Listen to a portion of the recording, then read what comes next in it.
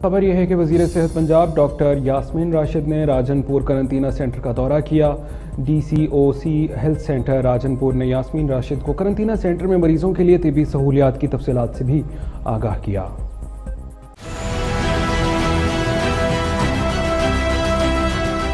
सूबाई वज़ीर सेहत डॉक्टर यासमीन राशिद ने राजनपुर करंतना सेंटर का दौरा किया। इस मौके पर सूबाई वज़ीर लाइफ स्टॉक हसनैन, डीसीओ और सीईओ हेल्थ राजनपुर भी मौजूद थे। डीसी और सीईओ हेल्थ राजनपुर ने सूबाई वज़ीर सेहत को करंतीना सेंटर में मरीजों के लिए तिब्बी सहूलियात की तफसीत ऐसी आगाह किया है।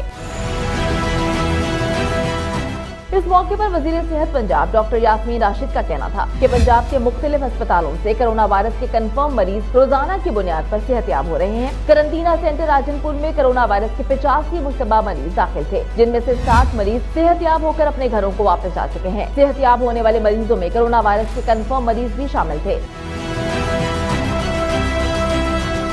डॉक्टर यासमीन राशिद का मजीद कहना था कि कोरोना वायरस की वबा पर काबू पाने की पूरी कोशिश की जा रही है। पंजाब के मुख्तलिफ़ अस्पतालों से कोरोना वायरस के कंफर्म मरीज़ रोज़ाना की बुनियाद पर सेहतियाब हो रहे हैं। आवाम को कोरोना वायरस से बचाव के लिए बार बार हिफाजती तदाबीर पर सख्ती से अमल दरामद करने की अपील की जा रही है। सूबे भर में रोज़ाना की बुनियाद पर कोरोना वायरस के दस हज़ार ऐसी ज़्यादा तशखीसी टेस्ट करने की कोशिश कर रहे हैं। कोरोना वायरस के मरीजों का इलाज करने वाले डॉक्टर्स नर्सेज और पैरामेडिकल स्टाफ का मुराल बुलंद है।